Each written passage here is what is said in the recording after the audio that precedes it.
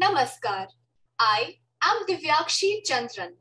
I will sing Shinghasta Shashi Shekhara, a Durga Vandana, one of the songs in the very popular Mahishasur Mardini by Birendra Kishore Bhadra, which is played on radio every Mahalaya day.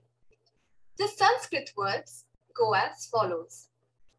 The one who sits on the back of a lion, who wears the moon as her crown, whose four betwelled arms bear the conch shell, the chakra, the bow, and arrow, whose beauty is enhanced by three eyes, whose various parts are adorned with armlets, necklace, bangles, jingling anklets, and a waistband, and whose ears are decked with glittering jhumkas.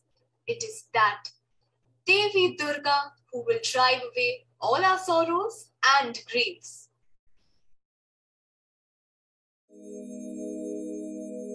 She